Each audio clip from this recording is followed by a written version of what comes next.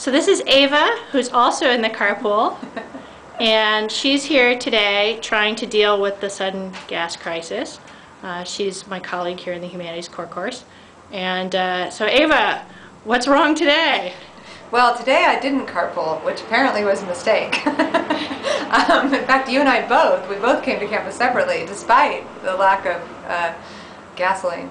Um, so I probably have enough gas in my car to get home, but that's it. Um, so my big crisis right now is whether or not I go home or if I try to stay here and wait things out or maybe try to get to my mother's house in Laguna Beach um, somehow on foot.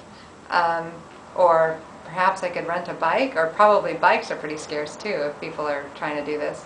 Um, see if I could set up a way to do my work from my computer for next week if I was going to make it home so that I wouldn't because even if I make it home, I'm not going to be able to get to campus next week and I still have to teach my class.